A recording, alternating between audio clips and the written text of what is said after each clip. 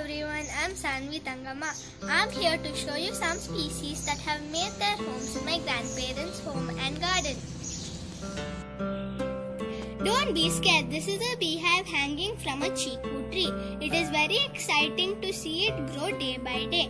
We know we get honey from bees, but did you know it is also responsible for the food we eat every day? World Bee Day is celebrated on May 20th to spread awareness about pollination. Look up there.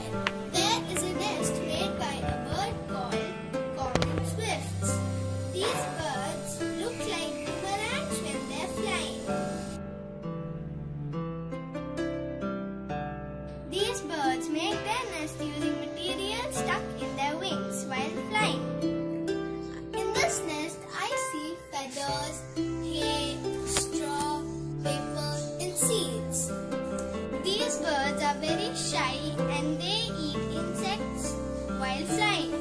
These birds are very clever, aren't they? And lastly, this is our four-legged friend Marin. She likes it when we rub her tummy.